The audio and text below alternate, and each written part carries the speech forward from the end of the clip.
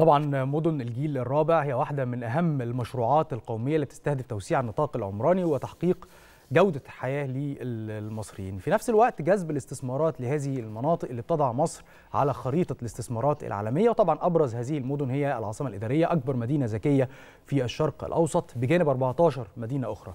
تفاصيل أخرى هنتابعها من سياق هذا التقرير.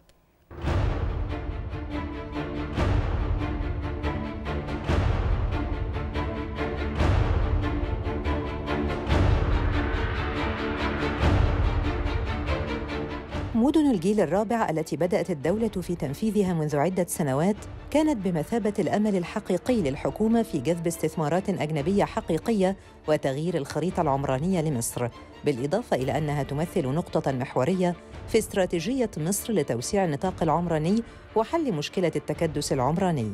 البداية مع تنفيذ أكبر مدينة ذكية في الشرق الأوسط وهي العاصمة الإدارية، ومن بعدها مدينة العالمين الجديدة، ثم تأتي بقية المدن التي تضمنتها المرحلة الأولى لمدن الجيل الرابع وهي 14 مدينة جديدة. هذه المدن أصبحت الداعمة الحقيقية للاقتصاد المصري بعدما استطاعت جذب أنظار العالم لمصر والفرص الاستثمارية بها وجذبت استثمارات أجنبية حقيقية ساهمت في دعم اقتصاد مصر.